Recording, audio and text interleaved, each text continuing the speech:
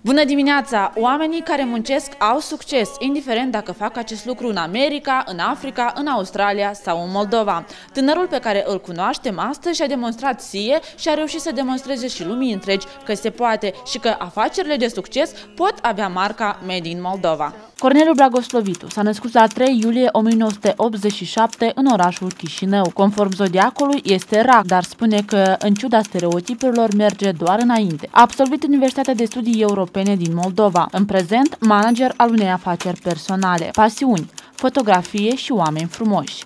Citate preferate, Life is nice.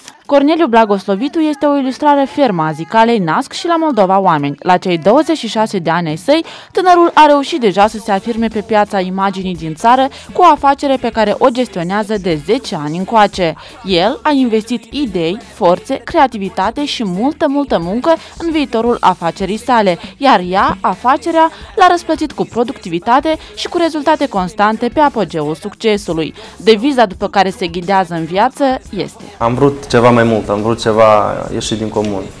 Am spus că dacă vreau mai mult, trebuie să, să fac un efort puțin mai mare și să încep singur. Am început singur, după un an, eu am simțit că încet cu încetul mă, mă bucuram de succes.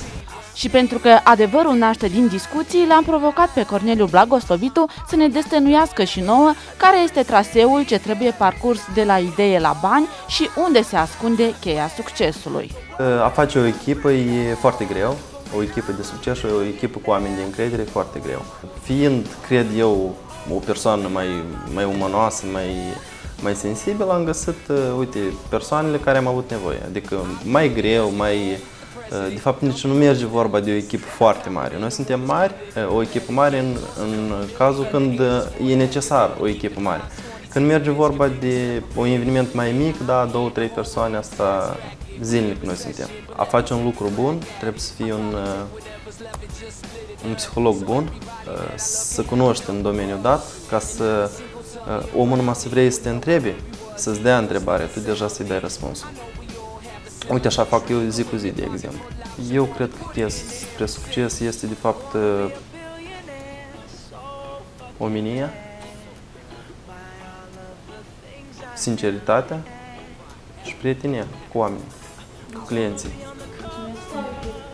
Se spune că un bun manager este acela care, pe lângă faptul că știe cum să-și mențină afacerile într-o ordine și într-o ascensiune continuă, mai știe de asemenea cum să găsească limbă comună cu subalternii și cu partenerii și astfel să le câștige respectul. Corneliu a reușit să exceleze și în acest domeniu. Cornel este mai mult pe partea organizatorică, el este un manager foarte bun Uite, să zicem așa, în afară de responsabilitatea și sinceritatea care se vede la prima, în prima fază, uh, este un tip harismatic, este, să spunem așa, care atrage, care, nu știu, prin uh, energia lui pozitivă, uh, este un tip care te atrage. Să spunem așa, și noi așa am început să colaborăm, pentru că am înțeles că el este un om care nu te pierzi, un om care știe să facă un lucru, știe să zâmbească la timp, știe să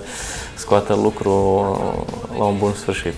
Dat fiind faptul că afacerea de succes a lui Corneliu Blagoslovitu a devenit și una calitativă, interpreții de la noi au năvălit dornici de servicii prestate la nivel profesionist. Corneliu le-a deschis ușa și le-a oferit în schimb prietenia lui. Așa sau altfel, afaceristul a dezvoltat colaborări de succes cu artiști precum Pașa Parfeni, Formația Acord, Dima Trofim, Katie Rain, Victoria Lungu, Cătălina Rusu, Diana Rotaru și mulți, mulți alții.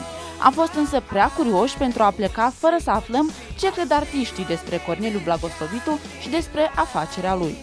Este o, o persoană foarte deschisă, este o persoană care știe să zică o vorbă caldă la momentul potrivit și știe să acorde maximă atenție nu doar clienților, dar și prietenilor. Am maximă încredere în el, iar probabil ăsta este unul din valorile care leagă o prietenie pe mai mult timp sau chiar pe o viață. Este un băiat sufletist, nu este doar un profesional, ci este și un bun prieten și o persoană cu niște calități spirituale de excepție. poate de asta și de aici vine tot succesul, pentru că nu este destul doar să muncești, să dorești, trebuie să mai fii și ca artist, ca o persoană de artă, trebuie să ai anumite calități interioare deosebite. Frumos, excepțional și știu, brilliant, strălucitor. Brandurile din Moldova vor fi cu siguranță recunoscute peste tot în lume pentru că oamenii care se ocupă de ele au toate șansele să ajungă departe. Astăzi am încercat să vă dau o pistă către cheia succesului. Corneliu Blagoslovitu este un exemplu care poate fi urmat de fiecare dintre voi.